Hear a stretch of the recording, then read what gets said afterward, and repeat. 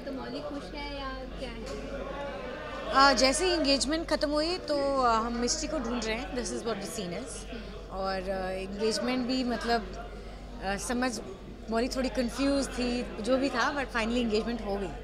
Ring दिखा लीजिए। तो आज जो डांस परफॉर्मेंस की है आपने कितने मज़ेदार है कितना मज़ा आया आपको करके? थोड़ी ऑकवर्डनेस ही थी।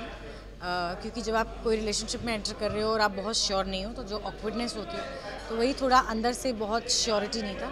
So this is what the situation और ईशान का जो सिंगर डांस सोलो वो तो मस्त था। अ,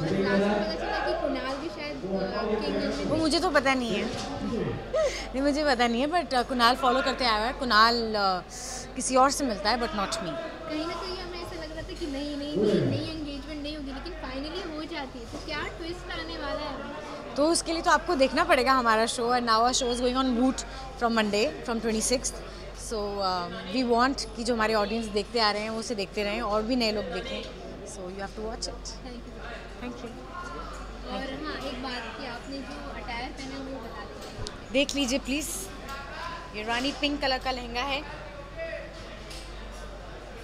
ओके हाँ ऑलमोस्ट टेन के जीज या